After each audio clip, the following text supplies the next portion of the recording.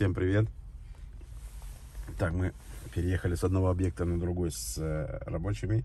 Сейчас, то есть ре- ребята уже в принципе на месте с, с инструментом, со всем, с чем надо.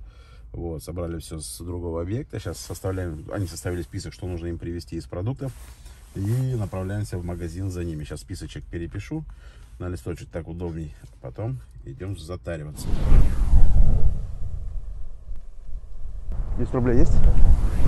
Ладно, сейчас разменяем. А, у меня есть. Все, пошли. Я обычно всегда держу 10 рублей в кармане, как раз вот для, для те- тележки. Ну или э, когда заправляюсь, всегда даю заправщику. Так, мы маски одеваем? А? У тебя нету? Ну, там можно взять, или вот здесь можно было взять. Там можно самостоятельно сделать. Трусов? С- Нет, с трусов тоже можно, конечно. Ты предпочитаешь женских или с мужских?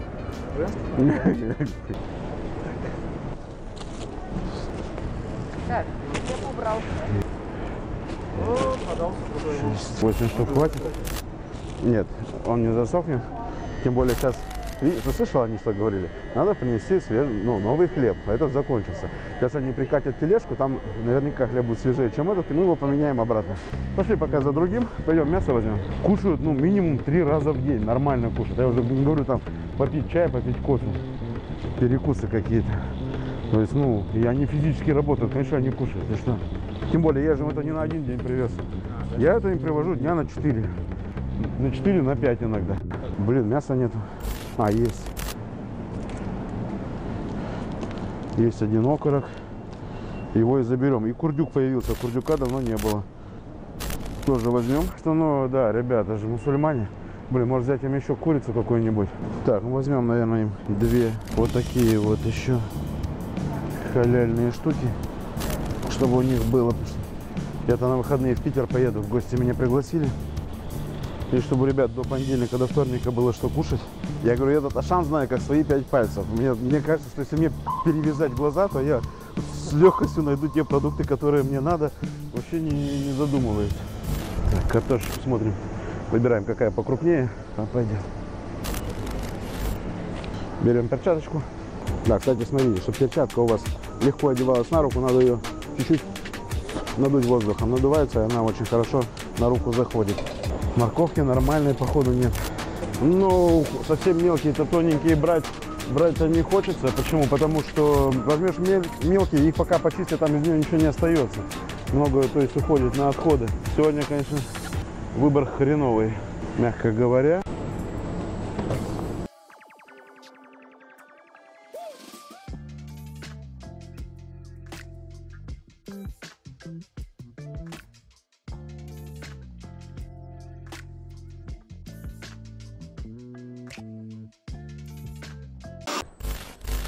Взяли, морковь, лук, картошка, молоко, рис, сливочное, яйца, мясо, колбасы, печенье, пряники. Так, э, теплые перчатки, простыни. Э, соль, перец осталось. Погнали за соль, а потом за перцем. Блин, в принципе, скидка можно взять и упаковку.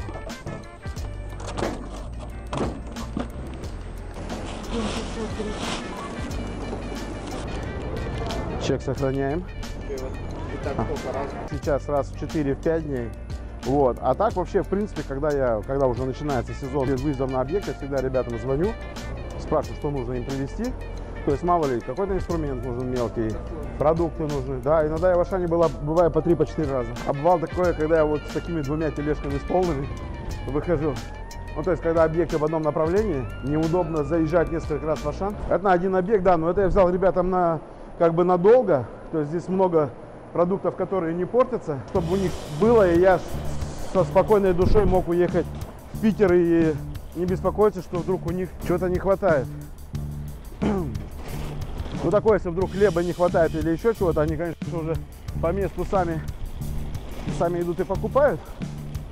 Ну, я стараюсь сделать так, чтобы они по магазинам как можно меньше ходили, не теряли на это время. Лучше в это время пускай они или работу какую-нибудь сделают, или просто элементарно отдохнут.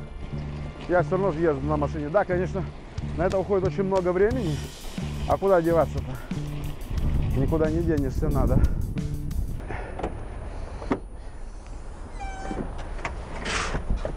Так, начинаем погрузку. Продукты я вожу в багажнике. Кто бы что бы ни говорил, может быть, кто-то из рабочих на это обижается, я не знаю. И для себя, когда покупаю продукты, вожу в багажнике. И для рабочих в том числе.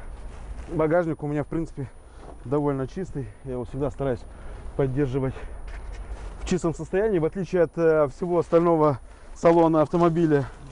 Вот.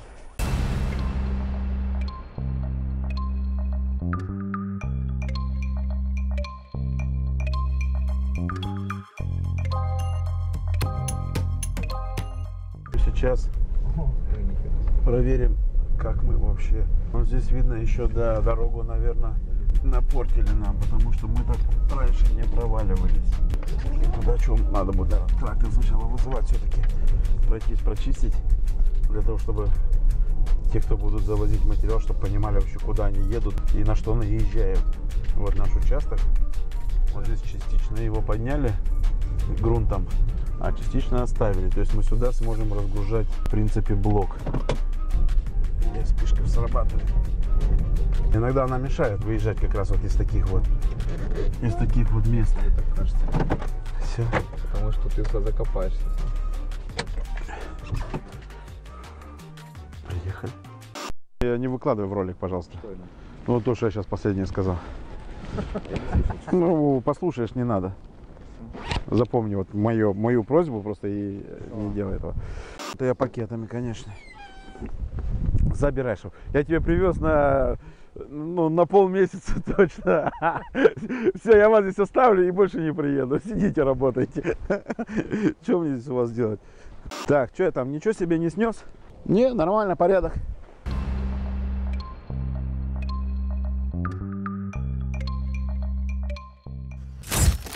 Мы приехали на наш объект, где у нас большой фундамент 400 квадратных метров, который мы консервировали на зиму.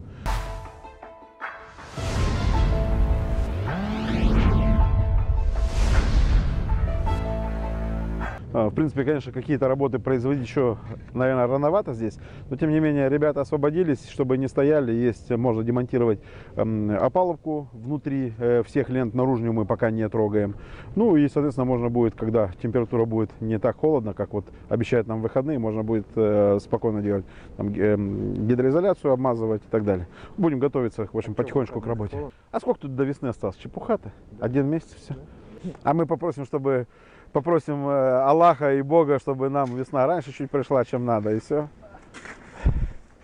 Нам главное, чтобы где-то 0 минус, 0 минус 3, чтобы было. Во, во, вот там шов, да, вот там. Там прямо, вот он. Что ищем? А мы сейчас едем, ищем водопроводный колодец. У нас есть э, здесь, э, то есть кессон, скважина. Э, ищем э, крышку кессона для того, чтобы у нас была вода на объекте.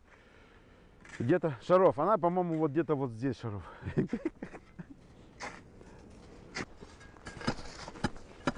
Вот она, да? Не, это, это э, поддон. Нет, раз там губка, значит, вот где-то вот здесь. А ну, Шаров, подожди. Вот, видишь, куда идет? Вон туда. Да, да, да, да, да. Да нет.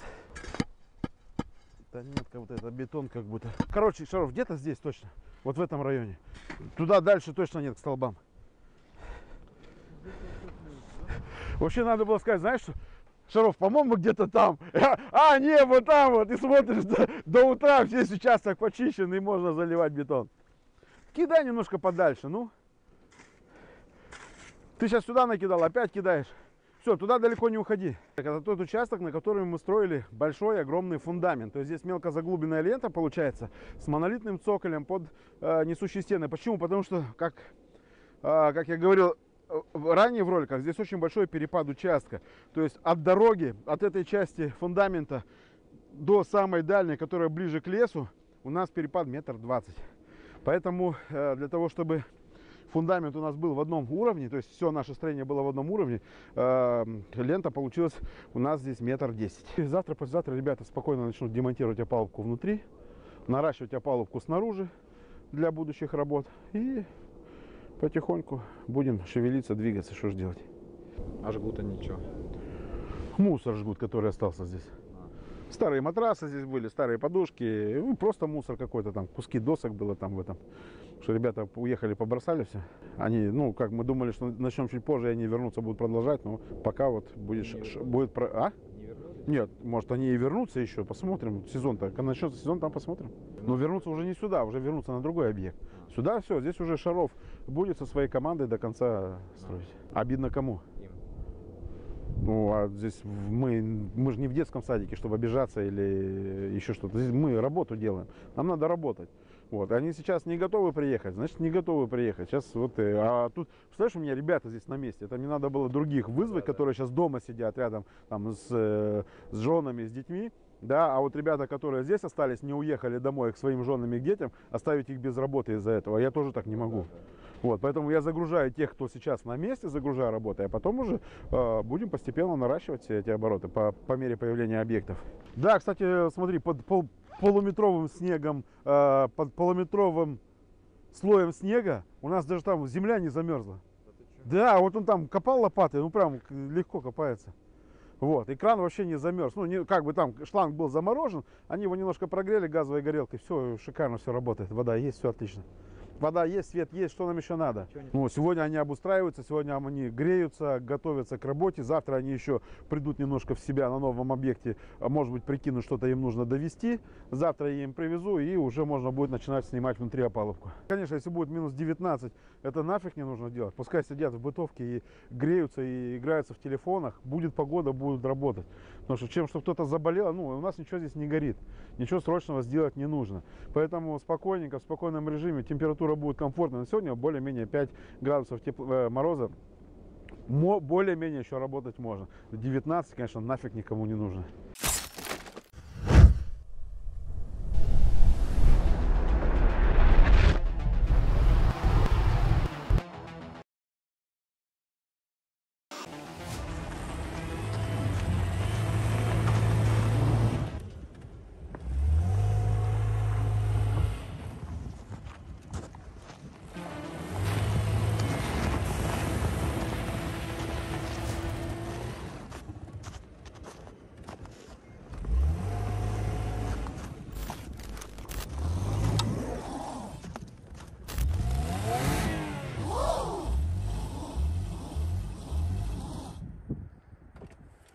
Такая поговорка. Чем круче джип, тем дальше идти за трактором. По-моему, это тот самый случай.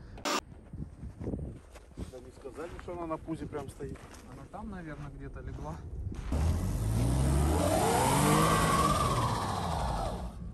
Что-то мне подсказывает, ты не сильно расстроен. Я нет. Потому что есть кому-то толкнули. Ну, если бы не было кому толкать, я бы сюда бы не заехал. Ну да.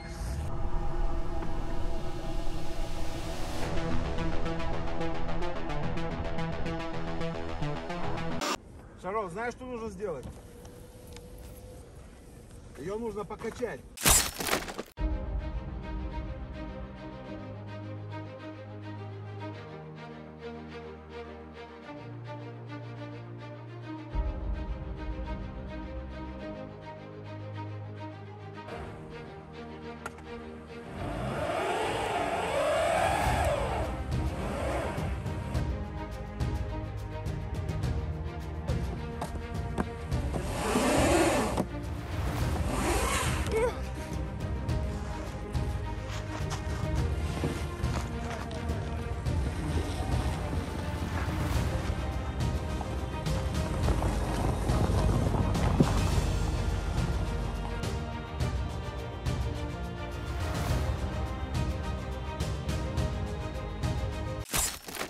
Что касаемо объекта, на сегодня закончен. Ребят, мы обустроили, ребята на месте, у них все есть, продукты есть, тепло есть, свет есть, воду мы добыли, э, ничего не замерзло, это хорошо.